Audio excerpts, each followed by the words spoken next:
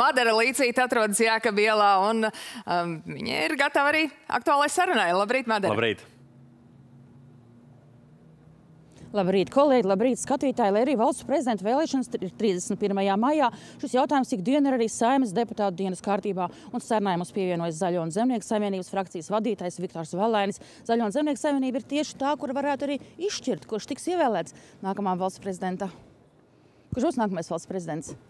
Nu, to mēs redzēsim 31. maijā. Mēs uh, esam uzsākuši tikšanās uh, ciklu ar uh, prezidenta amata kandidātiem.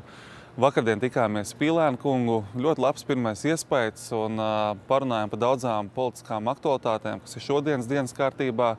Un, uh, manuprāt, Pīlēna kungu svarīgi saprast, ka tā galvenā lieta, par ko mēs vienojāmies, uh, ir tā, ka mēs kopīgi pie šiem izaicinājumiem turpināsim strādāt neatkarīgi no tā, kāds būs prezidenta vēlēšana iznākums. Un tas ir svarīgi, ka šī politisko partiju sadarbība aktuālos jautājumos veidojās arvien labāk. Un, un, mēs skatīsimies nākamos kandidātus. Tātad jau pēc nedēļas būs tikšanās ar Pinto kundzi. Un, es domāju, visdrīzākajā laikā mēs jau pateiksim, kurā brīdī mēs tiekamies arī Rinkeviča kungu. Un pēc tam 31. maijā mēs pieņemsim savu lēmumu, par ko mēs balsosim. Tad jau saima lems, kurš būs nākamais prezidents. Aizietos četrus gadus jūs esat bijuši opozīcijā. Un vai pieņemot šo lēmumu, par kuru prezidenta kandidātu balsot, jūs vērtēsiet arī savas iespējas nokļūt koalīcijā beidzot? Mēs tos, šos jautājumus tādā veidā nesienam kopā, un mēs tomēr vairāk vērtējam paš, pašus prezidentus, jo šobrīd svarīgākais ir ievēlēt labu prezidentu.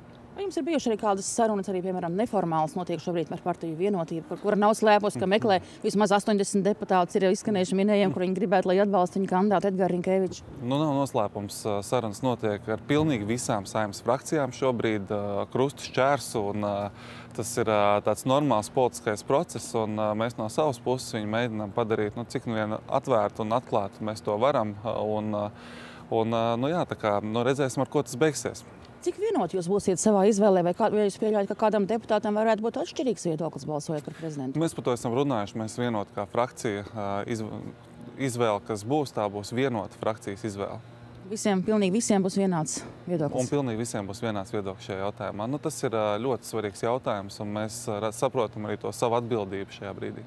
Kā jūs pats vērtējat, vai valsts prezidents tiks ievēlēts jau 31. maijā, vai būs vajadzīga arī otrā kārta? Nu, es tam nelieku tādu izšķirošu nozīmi, jo var, protams, būt iespēja, ka neievēl prezidentu pirmajā kārtā, bet, bet nu, laiks rādīs. Daudz ir izskanējuši minējumi, ka pēc valsts prezidenta vēlēšanām varētu būt arī kādas pārmaiņas koalīcijā. Kā jūs to vērtējat? Es šobrīd acīm redzams ir tas, ka ne jau prezidenta jautājums ir tas, kas savā ziņā šķeļ koalīciju.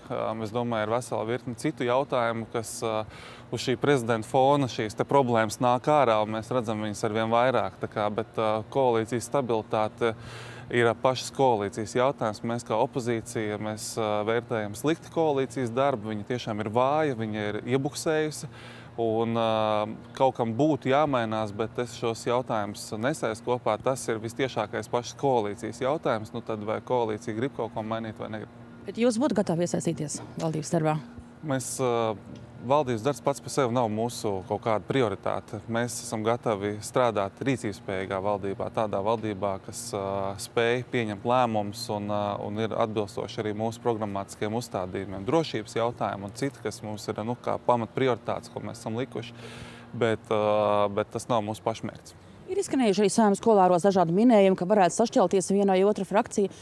Konkrēti ar šo domājot apvienotos sarakstu, kādas ir jūsu prognozes?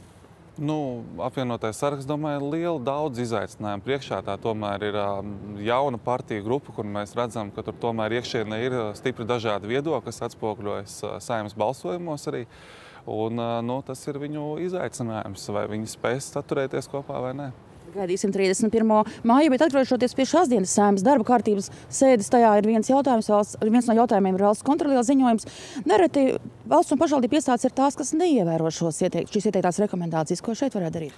Es domāju, ka jāpievērš uzmanība, manuprāt, šobrīd būtiskākajiem valsts kontrolas ziņojumā minētajiem apstākļiem. Un es gribētu teikt, tieši šis budžeta pieprasījumi. Mēs redzam nelielu daļu budžeta pieprasījumu analīzi parāda to, ka trešā daļa no šiem pieprasītiem līdzekļiem neaiziet tam mērķim vai netiek pienācīgā veidā izlietot, kas ir milzīgi, milzīgi resursi. Un, manā ieskatā, ja mēs tik daudz naudas šobrīd aizņemamies un, un nespējam viņu efektīvi izmantot, Tas nozīmē par atbildības trūkumu valdībā, atbildības trūkums eh, ierēģņos, eh, veicošos pieprasījumus, analīzes trūkums. Nu, tāds eh, ir sasniegt, manuprāt, tāda galējā bezatbildības robeža, ko šobrīd demonstrē valdošā vara. Nu, es domāju, ka ir jāmaina šī attieksme un daudz atbildīgāk jāprasa atbildība gan no politiķiem, gan arī no ierēģņiem šo lēmumu pieņemšanā. Un valsts kontrolas ziņojums pēdējais, manuprāt, ir diezgan kliedzošs, kas no šos apstākļus līdzekļus izvelk ārā. Tā skaitā arī šīs slēptās lietas, kas ir, nu, piemēram, nu,